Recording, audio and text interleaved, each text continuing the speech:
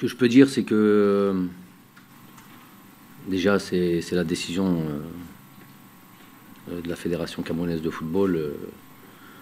Euh, et c'est à elle de savoir qu'à peser, sous-peser les risques de, cette, de, ce, de ces pseudo-risques, éventuels risques, on va dire, de ce changement de, de staff technique.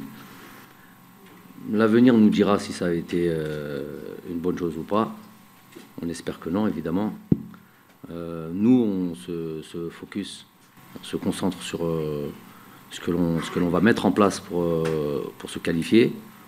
bien sûr, en fonction de, l'adversaire.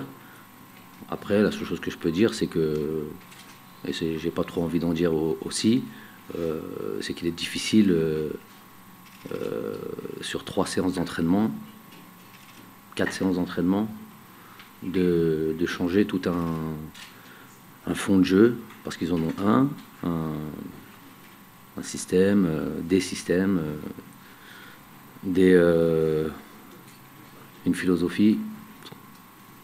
Ça me paraît difficile, même pour le plus grand entraîneur au monde.